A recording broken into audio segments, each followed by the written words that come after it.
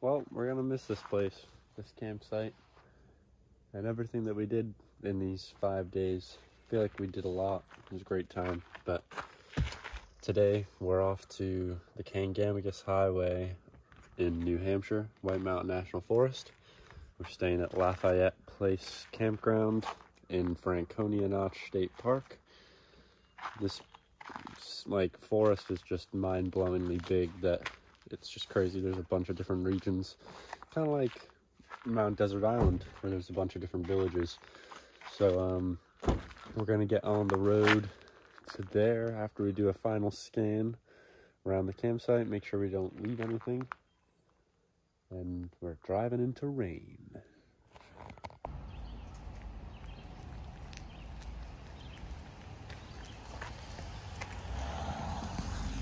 We are in New Hampshire now. Just got to the Kancamagus Highway. Hope I'm saying that right. Um, and we pulled over at like a National Forest Service info center. Looks like we need a day pass for stuff here. Um, so I don't know if we're gonna just buy two of them or for one today, one tomorrow, or only one tomorrow. But we're just investigating right now. Look how big this area is.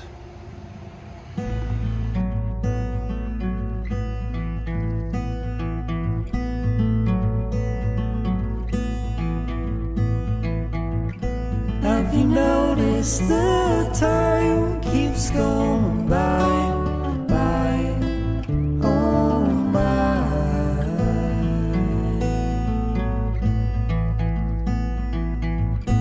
All the places I love to go far and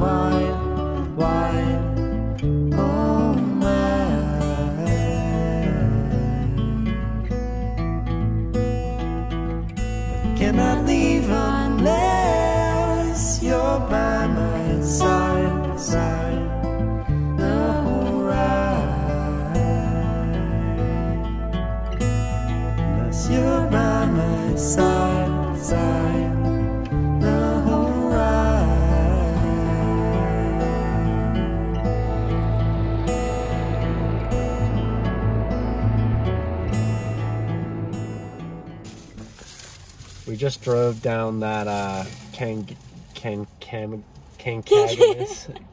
uh, Kumanga.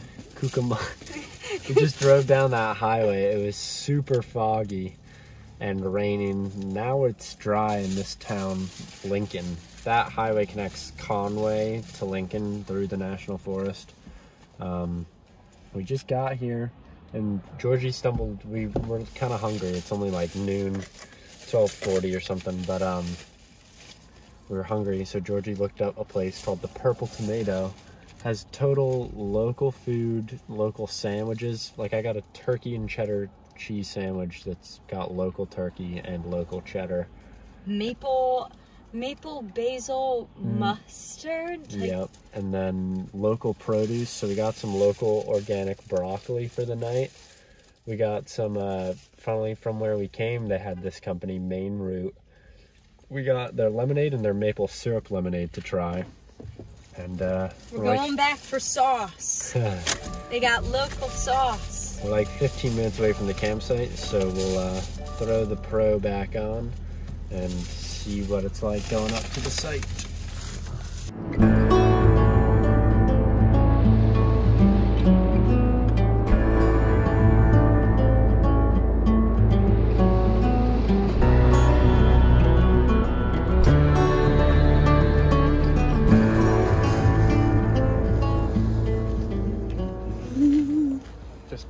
To the campsite. Our picnic table cover that fit perfectly in Maine is too short in New Hampshire, New Hampshire tables are long. but uh, it's kind of colder here, I would say, than Maine. Yes. We're higher up though too, um, surrounded by like 5,000 foot mountains that we can't see because of the fog. We're gonna eat lunch and then we might be able to sneak a little hike before the rain starts again at 5 p.m. Don't want to go too far, so we'll see. We've got a window of no rain right now that we are taking a little hike up this trail called Lonesome Lake Trail. Um, it's right off the campsite, which is cool, and supposedly leads to some views. However, with the fog that was here earlier today, I don't know if we will see much, but then again, it's gotten a little sunnier. It might have cleared up, so we'll soon see.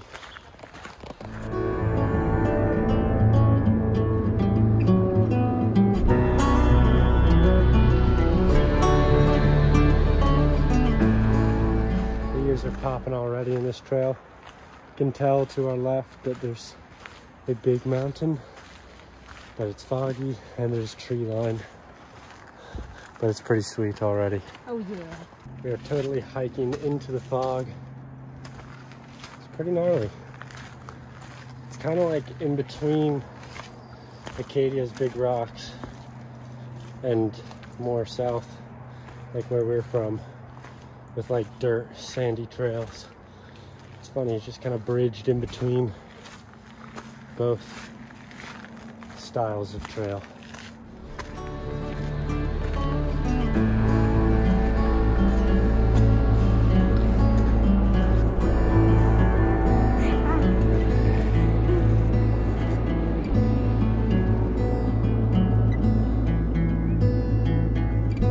Days feel shorter than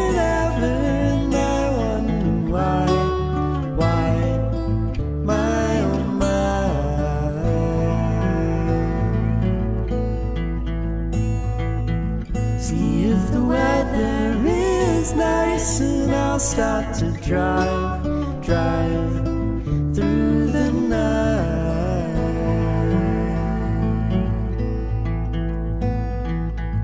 But it will not go far unless you're by my side, side, the whole ride. If you're by my side, side, all feels right.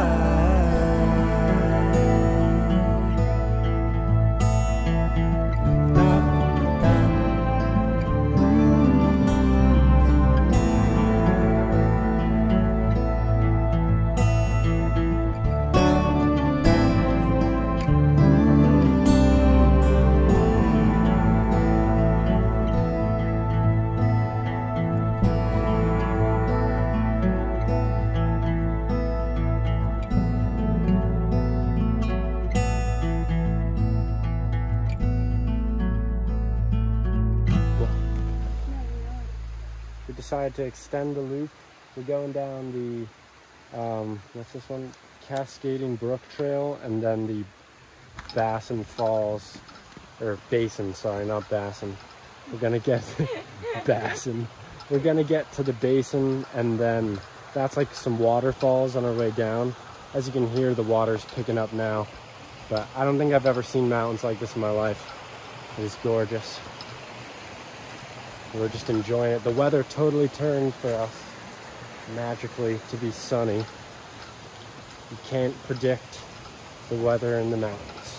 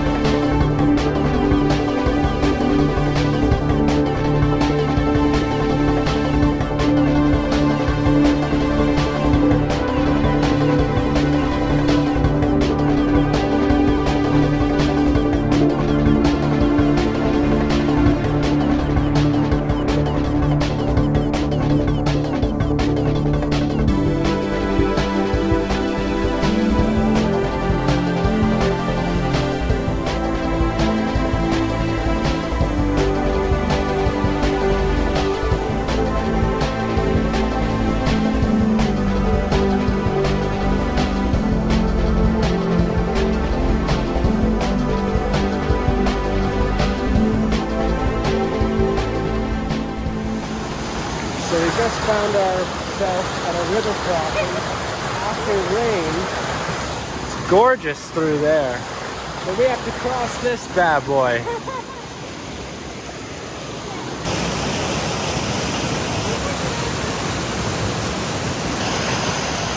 Oh my god. Wet. So, oh, Georgie just had to take the shoes off. Luckily, that was a really scary situation, actually, to be completely honest. I have long enough legs to jump over that gap. But Georgie does not. I do not. So I got little legs. that was the only way across. And the way back is another pretty much four miles, whereas here we're only a mile away. So the only option is for her to get the shoes off, and I grabbed her hand. But Yes. we just got some other folks running into the same problem. But uh, at least we weren't separated. Nope. That's what I was picturing. I was picturing the freaking love story of us getting separated on between a river. And good news, we're at the trail that we need to get to that should be lower key than what we just did. That dam. We're out, my love. Yes.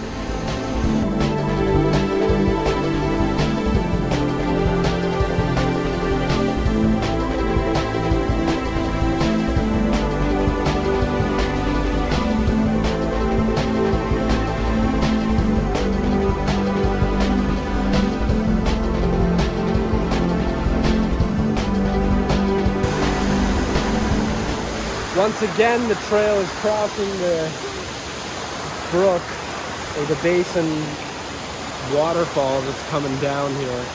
This one's a lot more shallow though. We're just getting the shoes wet, but there's nothing much else we can do. It's fine. It's fine. Haha! Managed to cross that one. Got the shoes a little wet, but not a problem.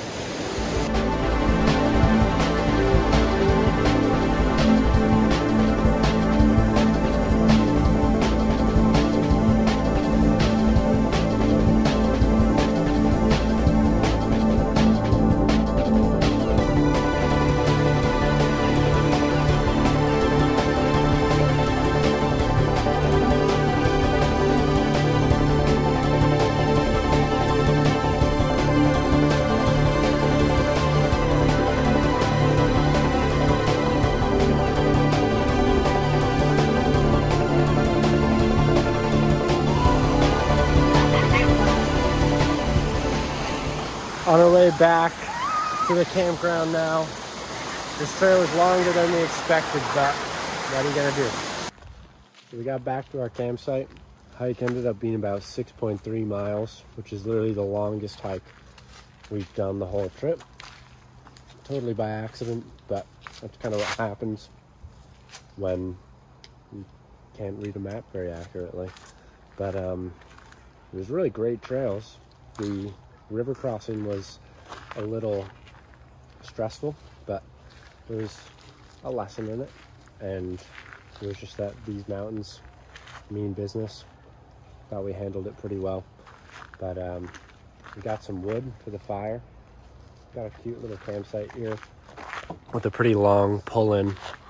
Um, we're lucky enough that the weather turned to be sunny and we couldn't see this earlier but from our campsite it's hard to show on camera but you can see in the back that the mountains are in there.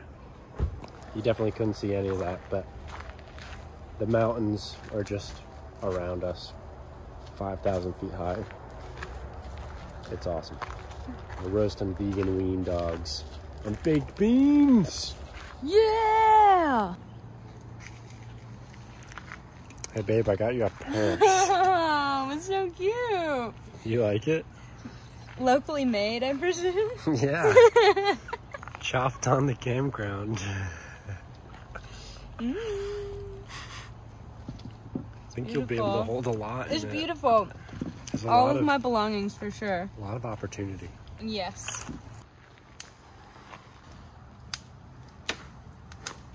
Morning, folks. We had a pretty early night last night because we were pooped after the hike. Um, today's our last day on vacation this whole trip. It's been pretty awesome. One we'll definitely never forget. I'm making some coffee right now. I'm gonna have some cereal, and we're gonna try and hike hike Mount Pemigewasset today, or Pemigewasset Mountain. I'm not sure which one it is, but um, it's about 2,500 feet. It's actually not as high as we were yesterday at that uh, Lonesome Lake place. That was like 2,700. But this will be the highest mountain we've climbed, which is going to be pretty cool. Um, should get a cool view around of some other mountains. Like I said last night, we can just see around us that there's stuff towering over, but we're at tree line, so can't see it like crystal clear. So I'm really excited to get like a clear view of some of these huge mountains around us. Um, supposedly, this Mount Pemigewasset is also called Indian Head because the rocks on the side of it make the face of an Indian. So uh, it's gonna be pretty cool. We'll bring you along. That's the campsite all packed up. We're only here for a night, but I really like this campground. We lucked out with a cool campsite too. So uh, got a little bit cloudy, cloudier than the forecast mentioned, but we're going to head over to the Mount Pemigewasset trailhead now and uh, do our last hike of the trip. Just got to the parking lot. We are heading up the mountain now. Here's the trailhead sign, or the sign before the trailhead actually.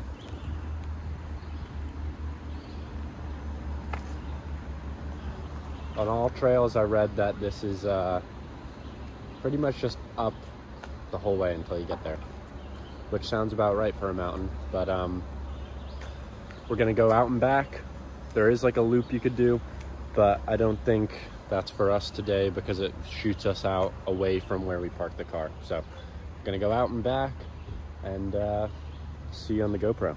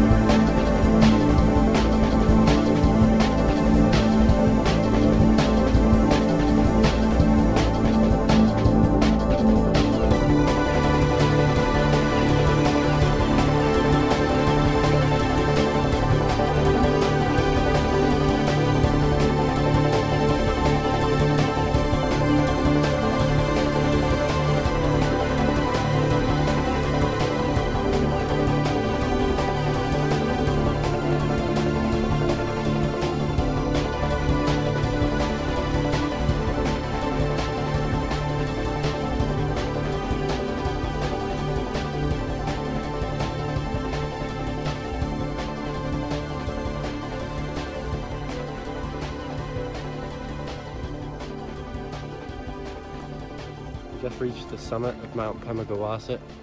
It's pretty foggy, but you can see other mountains around us just towering above. Like over there. Huge mountains. This gave us a great taste of just what the White Mountains have to offer and about half the size of the ones over there. But um I think this is a great way to conclude the trip. Great hike up. Even though it's foggy, we got great views. Um, I think it just makes us want to come back here as well. So uh, hope you guys enjoyed the video. We will see you again soon. Thanks for watching.